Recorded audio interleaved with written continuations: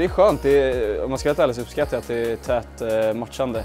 Ehm, det känns lite europeiskt, men eh, det är såklart skönt att få vila kroppen en hel vecka och även skallarna. Absolut, det är jättemånga som har spelat, inte bara 90 minuters matcher, men även 120 minuters matcher och som har legat i hela tiden. Så att det blir lite extra skönt för dem också. Kul match, ser fram emot den. Ehm, de kom från en 3-1 mot Malmö, så de är säkert i eh, lite god form, eh, men det är vi också. Vi har stark grupp och vi kom från en ganska skön vinst nu mot Västerås också. Vi minns ju när vi mötte dem förra året, de är ganska raka, eh, duktiga i omställningsspelet och har en del snabba yttrar och, liksom, och är rätt farliga i sitt anfallsspel så att det är relativt på, påkopplade och um, samtidigt att vi också är väldigt duktiga i den här övergångsfasen. Eh, väldigt roligt att vara tillbaka på Tele2 igen eh, efter eh, två bortamatcher nu. Så Taggad, eh, kommer tillbaka från avstängningen också. Man vill aldrig vara borta från en match. Alla matcher är väldigt roliga, men kul att det gick bra borta mot Västerås. Men eh, väldigt taggad att komma tillbaka. Ja, det känns bra. Det har gått bra nu. Precis som laget så känner jag mig i bra form. Det ska bli kul.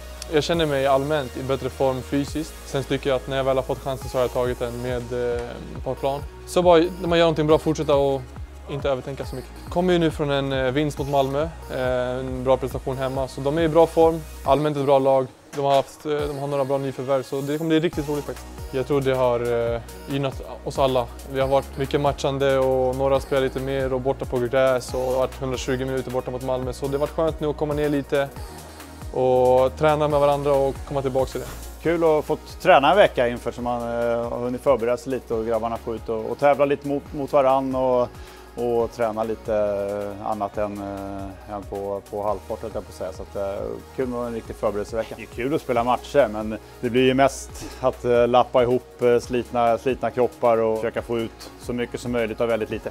Ja, det är klart att det, det blir tufft speciellt. Både fysiskt såklart att spela 120 minuter nere i Malmö som femte match, eller vad blir det, fjärde matchen på, på, på så pass 10-11 dagar och sen dessutom då med, med det resultatet och då har du mentala smockan och bitterheten och man ska både Både bearbeta det och, och det fysiska så det är klart att eh, det är skönt att vi kom igenom den matchen med ett, med ett bra resultat. Ja, men ganska eh, likt hur, eh, hur Elfsborg har sett ut de eh, senaste två, två säsongerna. Så, eh, att adderat lite mera bra i sitt höga pressspel när de vill göra det, men också väldigt bekväma med att ligga lägre och, och kontra har de ju alltid varit bra på och är fortfarande så. Så att, eh, det är ganska likt hur Elfsborg har sett ut senaste åren skulle jag säga.